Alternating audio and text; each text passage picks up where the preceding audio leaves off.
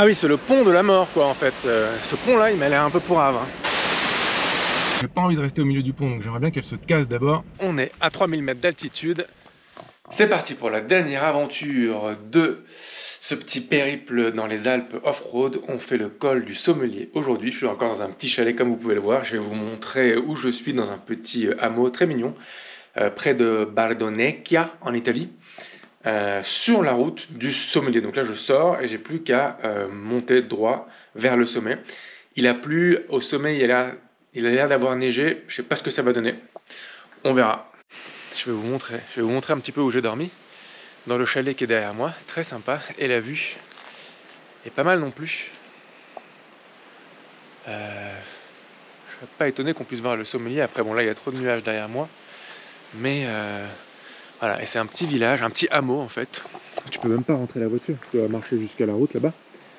Euh, je vois tout au long, tout au long dans la dernière montagne là-bas de la neige. Donc je sais qu'en altitude on risque d'en avoir, surtout qu'il a plu. Donc là, voilà, je voulais juste vous montrer ce petit, ce petit truc très mignon. Si ça vous dit, un jour vous allez faire le sommelier, vous voulez dormir là, 100 balles la nuit, tu as une grande piole, tu peux dormir presque à 4. Euh, et le restaurant était bon, était vraiment paisible tout seul. Donc si ça vous dit, je vous dirai.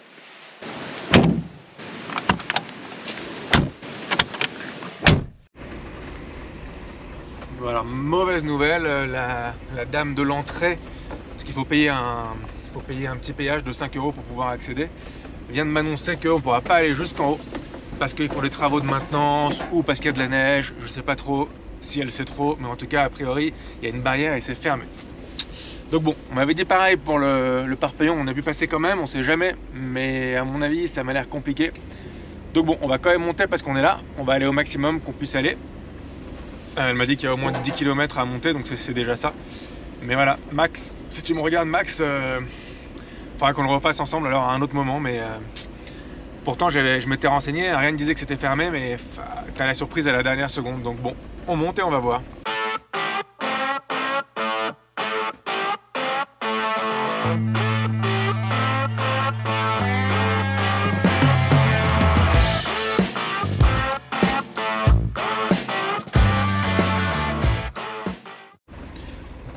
Que tout le sommet là-bas est sous la neige. Hein. On voit bien que c'est tout blanc.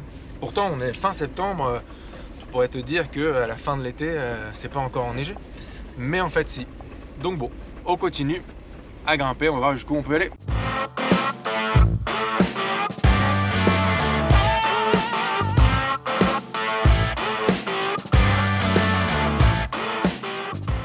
Là, on se rend mieux compte euh, de la neige qui est tout en haut. On voit les cascades qui descendent il y a comme un barrage, on va aller voir de plus près. C'est quoi ce barrage?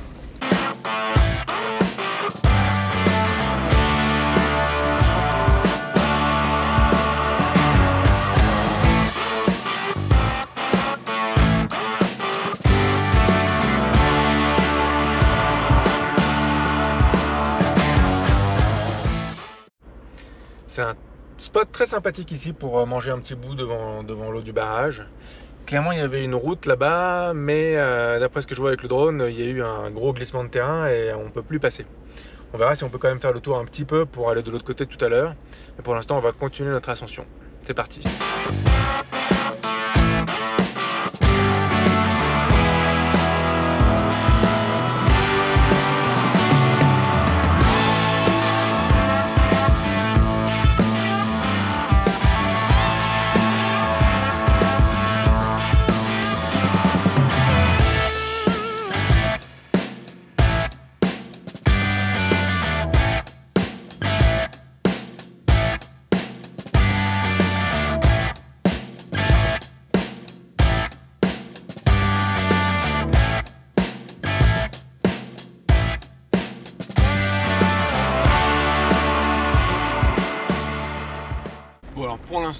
Dois dire que, je sais pas si j'en suis à la moitié ou quoi, mais c'est beaucoup plus facile que le parpaillon. Ça, je vous, le dis. Je pense que c'est faisable avec, euh, tu vois, peut-être une genre une all road euh, ou euh, un break un peu rehaussé, un truc un peu passe-partout, en faisant attention, avec des petites protections en dessous quand même, et en évitant les gros trous. Mais honnêtement, quand on voit la route, bon, c'est pas très très difficile à passer avec, avec un véhicule à peu près normal. Et c'est tout aussi joli.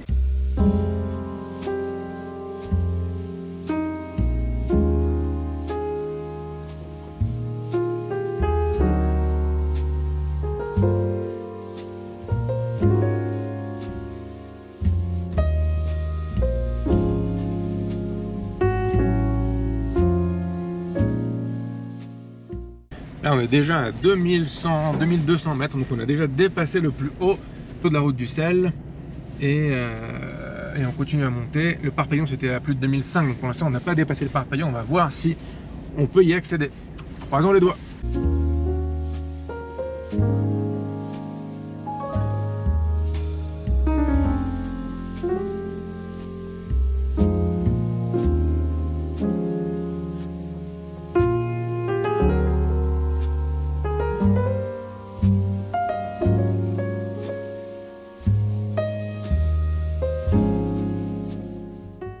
De croiser un mec qui vient de me dire qu'il y a un pont qui est un peu cassé et un peu troué avec des planches un peu pourries. Ce qui ne me rassure pas des masses avec ma grosse voiture. Donc on va regarder euh, ce que ça donne et, euh, et voir si on va le franchir ou pas quoi. Pas sûr.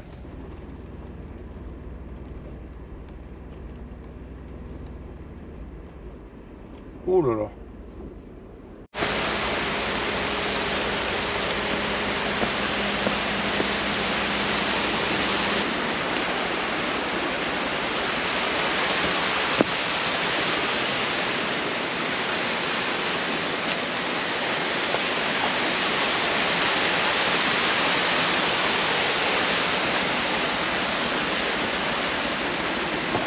Ah oui, c'est le pont de la mort, quoi, en fait. Euh, ce pont-là, il m'a l'air un peu pourrave. hein.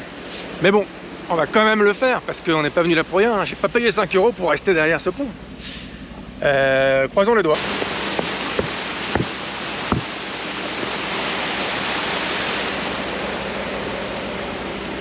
J'ai l'impression que ça passe. J'aimerais juste qu'il n'y ait pas la vache devant.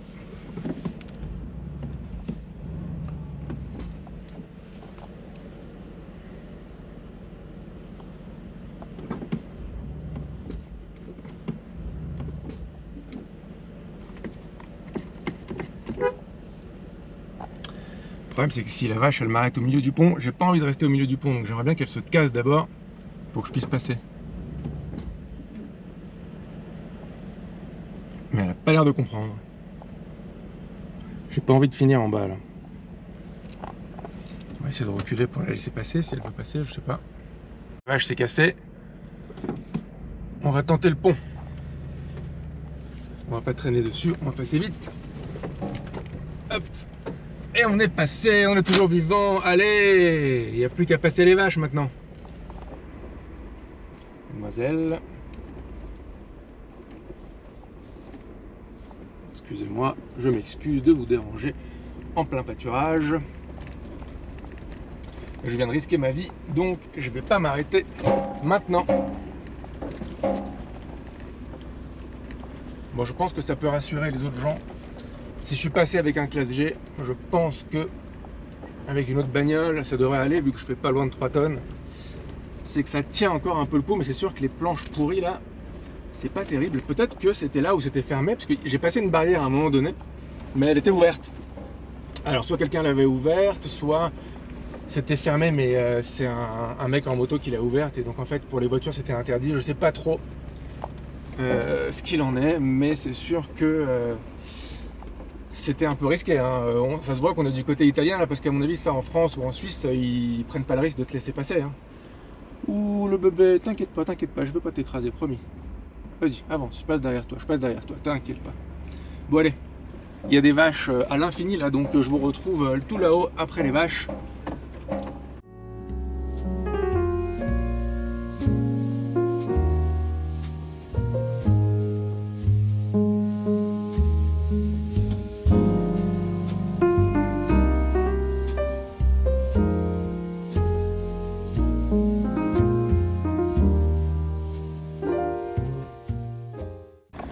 C'est un peu plus compliqué là. Enfin, je sais même pas si on est à la fin, mais après là, au niveau des vaches, euh, pas, à cause des vaches hein, que c'est compliqué, mais c'est plus compliqué si vous voulez le faire avec une bagnole normale. hein. Il y a quand même euh, beaucoup de. euh, Il va pas se pousser lui. hein. Il y a quand même euh, beaucoup de, gros gros creux, de grosses roches, donc là, faut quand même avoir une garde de sol correcte. Et on monte là, on est à presque 2400 mètres là, on va déplacer le parpaillon bientôt. Je suis content, j'ai pas encore vu de barrière, j'espère que ça va continuer. Tu vois, les grosses roches comme ça, euh, avec une petite bagnole, peut-être pas simple.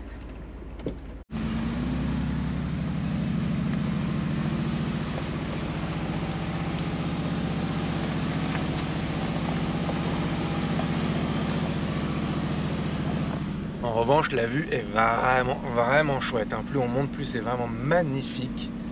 Et on dirait qu'il y a de moins en moins d'air. Maintenant, on arrive vraiment sur un endroit où il n'y a quasiment que de la pierre, euh, de la pierre euh, et quasiment plus, plus d'herbe. Quand on voit un peu les sommets là, ils sont un peu à nu. Donc euh, ça prouve qu'on doit être assez haut là. Je vais regarder à combien on est, mais à mon avis, eh on est quasiment à 2005. on va surpasser le Parpaillon. Ça y est. On va voir jusqu'à où ça va monter. Mais en tout cas, c'est très agréable d'être là. Tout ce qu'on entend, à part le bruit du V8 que j'aime beaucoup, c'est les cloches des vaches.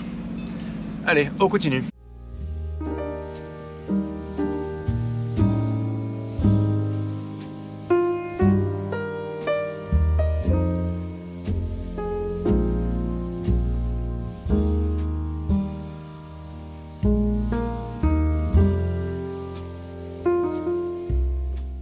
Savoir la limite à partir, à partir de laquelle la neige euh, commence là. On voit vraiment bien la ligne. Enfin la neige d'été quoi. Mais euh, c'est cool, on va se rapprocher. J'espère qu'on pourra mettre les roues dans la neige, ça serait chouette. D'un coup là ça change pas mal de décor. Hein. Ça devient euh, quasiment lunaire et on voit aussi la ligne à partir de laquelle l'herbe s'arrête. Donc il n'y a plus que de la roche et après de la neige. C'est très beau. Donc là il y a deux chemins, soit un petit pont douteux, soit passer par la rivière. Devinez ce que je vais choisir.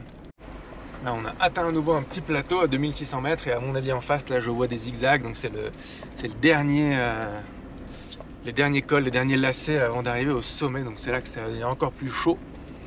Euh, mais si près du but, on va y aller.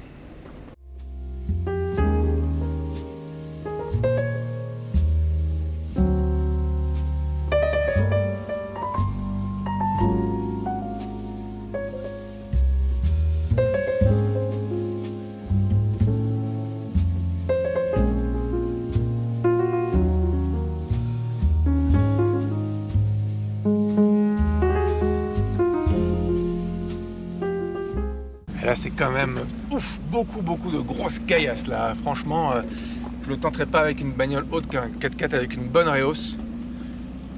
Parce que il euh, y a de la grosse caillasse. Euh, même quand tu essaies de prendre des lignes un peu, un peu mieux, c'est quand même compliqué. Soyez prévenus. Alors là, si tu crèves pas un pneu ici avec des pneus normaux de route, c'est que tu as vraiment du bol. Hein, parce que c'est que de la grosse caillasse bien, bien tranchante. Bref, encore quelques lacets. On continue de monter. C'est parti. On n'est pas du tout loin du bord là quand même. Hein. Ça commence à être un peu flippant là. Mais c'est chouette. On arrive à la limite de la neige là, juste devant. On arrive à 2800 mètres. donc on a bien dépassé le Parpaillon qui était à 2005. On arrive à la limite euh, de la neige. Donc il faut, croire que la limite neige elle est à peu près à 2800 mètres. Je sais pas si c'est des neiges éternelles. Je pense pas. À mon avis, c'est des neiges. Euh, il a dû neiger quand même euh, il a dû pleuvoir à cette altitude et ça a fait de la neige. Euh, apparemment on est aussi sur une autre planète, clairement, parce que là, ça ressemble à rien.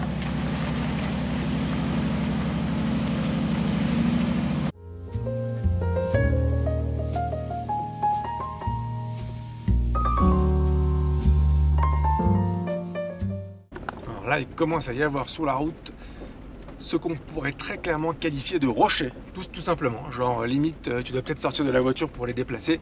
J'ai réussi à passer entre, mais c'est pas évident. On voit qu'il y a eu des éboulements récents.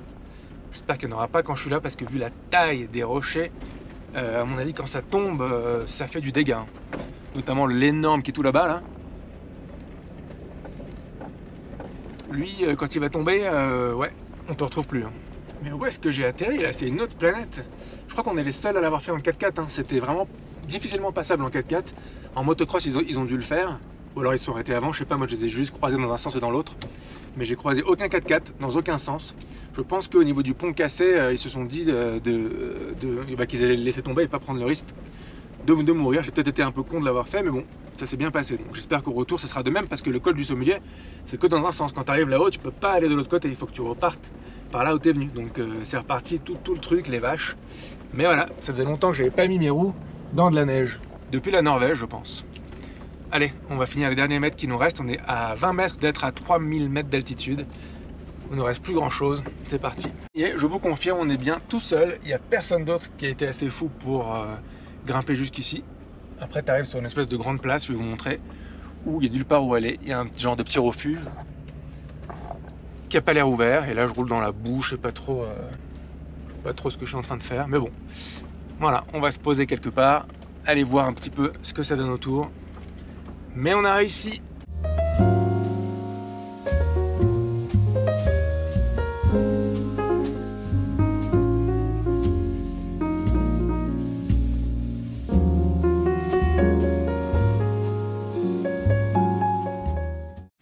Nous y voilà, on a réussi, on est à 3000 mètres d'altitude. C'est l'endroit le plus haut où on peut aller en voiture, entendez en voiture en 4x4 parce que c'est costaud, euh, de toute l'Europe. Voilà, après tu peux gagner quelques mètres en allant à pied jusqu'au vrai sommet, ce que je suis en train de faire. Mais euh, voilà, j'espère que ça vous a plu. Maintenant il faudra faire la descente, espérant que ça se passe bien et que je puisse refaire le petit pont euh, sans qu'il y ait de problème. Mais euh, voilà, et là on est vraiment tout seul aujourd'hui, 0 4 4. Je sais pas si c'est parce que la, dame qui était en bas, elle a dit que c'était fermé, qu'il y en a qui se sont dit bah on se casse pour la peine. Mais, euh, mais bon, ça valait le coup quand même de tester parce que c'était pas fermé. J'espère que ça va pas être fermé dans l'autre sens et je vais pas être bloqué ici, même si c'est pas le pire endroit du monde pour être bloqué. Voilà les amis, je vous dis à la prochaine. On voit qu'on n'a pas le même niveau d'oxygène ici parce que quelques pas déjà je suis un peu essoufflé grand sportif que je suis. Allez, à toutes. Petite info avant de couper, euh, c'était bien fermé aux voitures comme moi. Euh, mais moi quand je suis passé, le, barrage était ouvert. Euh, la police elle venait juste de, l'ouvrir, mais là quand je suis redescendu il était fermé. Donc j'ai dû passer autour, heureusement. Alors là, tu passes pas avec une voiture normale, il y avait une marche énorme mais j'ai pu contourner la barrière, sinon j'étais coincé de l'autre côté, tu vois. Après, je pense que je pouvais l'ouvrir, mais je, pense qu'il faut la maintenir euh, parce que c'est un genre de balancier. Bref, j'ai pu passer autour, mais voilà, à mon avis, à cause du pont, tout, tout défoncé, super dangereux, c'était fermé. Mais on a eu du bol, comme pour le parpaillon qui était en travaux, on a pu le faire quand même. Donc, c'est parfait. À la prochaine Petit update numéro 2, désolé, je viens de revoir la dame là, de, de l'accueil et j'ai vraiment eu une chance de malade. Elle m'a dit que euh, les flics sont redescendus pour le dire qu'ils avaient fermé la barrière, mais qu'il y avait un mec qui, était passé, euh, qu'ils n'ont pas pu me stopper avant et que tant pis pour moi, euh, voilà.